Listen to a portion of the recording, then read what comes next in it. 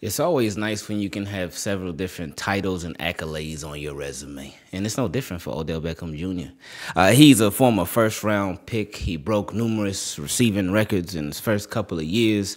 Uh, he is once the highest paid receiver in the league, uh, Super Bowl champion, a Pro Bowler, All Pro, all that good stuff. But who knew that recruiter would be on his list of accolades as well. Uh, yesterday, we all heard the press conference uh, that featured one John Harbaugh, Justin Madubuike, and Ravens' new receiver, Odell Beckham Jr. And this would be the second time that we heard from Odell Beckham Jr. Uh, in a presser, and he had his recruiting hat on. He really did. Uh, because Josina Anderson, who she she has been covering Odell Beckham Jr. throughout his entire career, um, and she has just been on it. She was there uh, at the castle yesterday, and the very last question that was asked, it was actually not supposed to even be the last question. Uh, they they were like, "Oh, one more," and somebody asked a different question, and then Josina went after them. So this was like a bonus question, but I appreciate it because they saved the best for last. She asked him, "Have you had any exchanges or suggestions with DeAndre Hopkins?" And as far as meaning like, oh, have you told him what team he should go to, any suggestions that he could go to, anything like that? And Odell Beckham Jr. said, we were both in Arizona, and we were joking way before the draft even happened about possibly both going here to the Baltimore Ravens. And um, obviously, if he's talking about way before the draft, uh, that's when DeAndre Hopkins was still an Arizona Cardinal. So he, he was not a free agent back then. So that is significant. But anyway, uh, he continued and said, uh, I don't know what happens from here. That's not really my call. Uh, I'm not the coach or GM. I do know that he was craving to be able to play football again since he had a shorter season last year. I think he can still ball from what I've seen when we were working out. So, Odell Beckham Jr. with that that slick recruitment pitch. And let me tell you why uh, it, it's slick because this is not the first time that Odell Beckham Jr. has said those words as a receiver for the Baltimore Ravens. Because if I take you back, now I know the situations are completely different. I get that.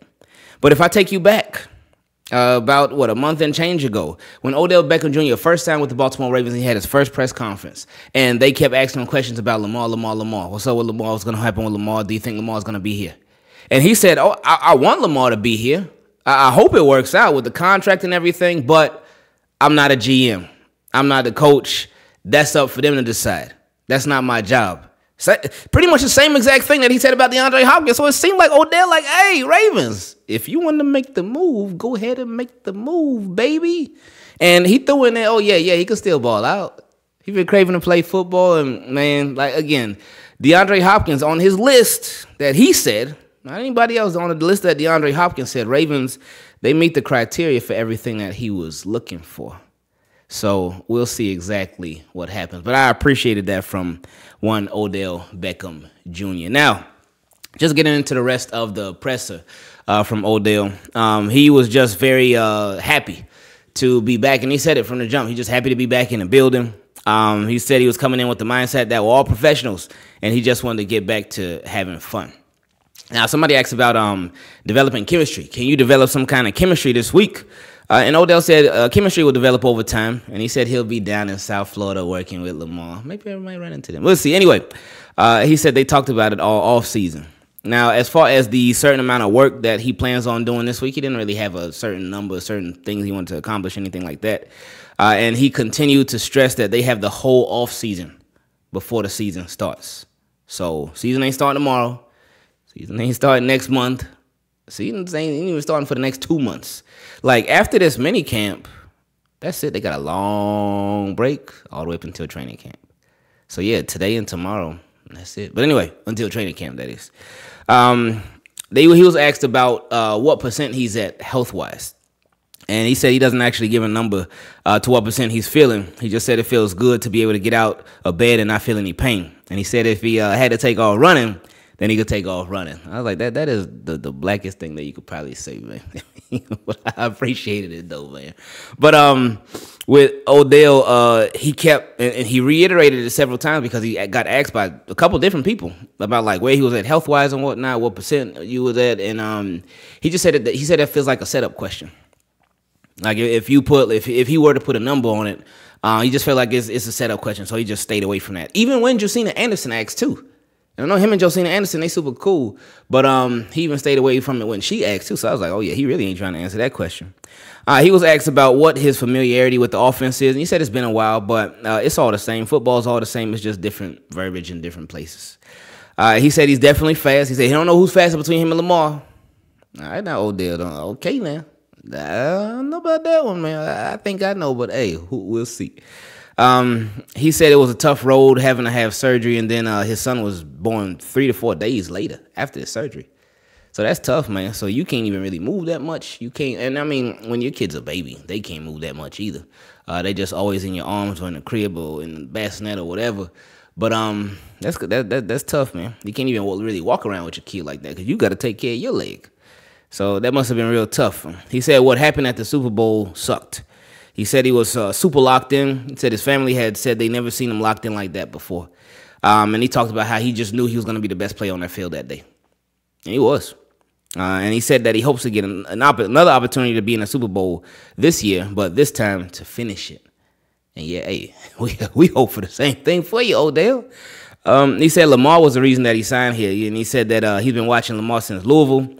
Uh, and he said Lamar has that it to him, that it factor. And that's special. That's real special. I mean, we all know Lamar got that, but just confirmation from Odell. That's nice. Uh, he was told that Lamar said he'll be throwing more than running uh, ever than ever before. Uh, and he was asked as Lamar, well, Lamar's a passer. What impressed you about him? And Odell said he just plays quarterback.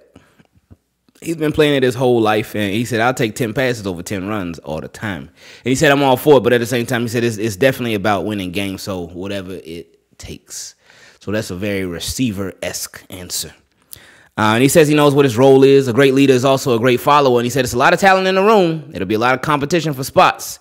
And said they all have to work together. And yeah, that's the beautiful thing about just having a plethora of uh, wide receivers. Not much will be given. A lot of it will be earned. Like Odell Beckham Jr. Obviously, he's gonna be one of the starters. Rashod Bateman, he's gonna be one of the starters. But after that, it seemed like it's a big toss up. Uh, he was asked about Bateman, young wide receiver coming back from injury, and the guy said, "You have a lot of experience with that." And I was like, "Ooh, well, I mean, that's true." But I was like, "Ooh, okay now." Uh, what he said, "Have you given him any advice or talk to talk with him on that?" Uh, and Odell said, "Injuries are different, and there can be a fear that you don't want to have that same injury again." Uh, but the only way to really conquer it is to just dive all the way in back into playing football. So you can't really think about it. It's, it's tough not to, but you just got to jump back in. And I know, um, especially yesterday with the whole the I'm gonna call it cortisone gate because it's like I know a lot of Ravens fans are tripping over that, uh, and I get the concern, uh, but at the same time, it's still early. It's very early, but I know I've seen a lot of Ravens fans saying, "Hey, this is why we need to sign DeAndre Hopkins." Like me, I was talking about DeAndre Hopkins before we even heard about this whole shot that Rashod Bateman got. But um, so i would be down for DeAndre even before that. But I know a lot of Ravens fans were um justifying bringing in DeAndre Hopkins because of that. And again, stay ready so you ain't got to get ready. The more the merrier. Quality, y'all, y'all already know. Um, but we'll see. And uh, what's been your favorite thing about being a dad? And, and Odell said, every moment. Uh, watching his daily development, it's crazy to see your little human grow up in front of your eyes. And you can't wait to be done with work and spend time with him. That's true. Uh, now, where does your confidence come from? And Odell Beckham Jr. said, I've been doubted all my life, and the time off allowed me to grow and learn. Said his last season was long, his, his longest season. And he said he told Cooper Kupp that he was glad the Super Bowl was the last week because he told Cooper Kupp like he couldn't do another week of football. So, oh, that, that boy was playing through some pain right there, man. That, that sounds harsh. Um, but anyway, and then, of course, after that, that's when uh, Josina asked the question about DeAndre Hopkins. So, yeah, man, it was nice to actually finally see Odell Beckham Jr. in the Ravens jersey yesterday. Um, and they they talked about. I know Jeff brought it up in an article that he posted today on the Athletic um, that said Odell Beckham Jr. had fell down, and everybody was kind of like looking around real quick. Uh, but then he got up, he got on one knee, and he was laughing about it, and then he did some push-ups. So it was a big sigh of relief, and I, and I know that's how it's gonna be too uh, throughout mini camp these next two days and then training camp, all of that stuff. It, it's going to be a lot of people holding their breath. Odell Beckham Jr., Rashod but just every everybody, uh, because just of recent history. So hopefully that recent history can be changed, uh, and everybody can be nice and healthy. And this season, like, because again, the the biggest thing with this season, health, health, Health, health, health. So we'll see how things go. Team, keep it clean. I love y'all. I appreciate y'all. I, I, I really, really appreciate all the comments. Uh, hoping that we get better. I hope we get better. I do feel a little better from yesterday. I, I, I feel stomach wise, it's not nearly as queasy as it was yesterday. Um, now I feel like maybe I got like feel like a little bit of like sinus, like a little tiny bit of a little baby cold or something like that. We'll see though.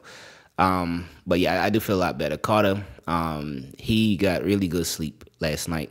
Uh, and he just he seemed like he's doing a lot better. My wife, uh, she's she's she's a little rough right now because uh, she got like this like cold or whatever. So, so yeah, man, we getting there though. So by the end of this week, hopefully we'll be all good to go.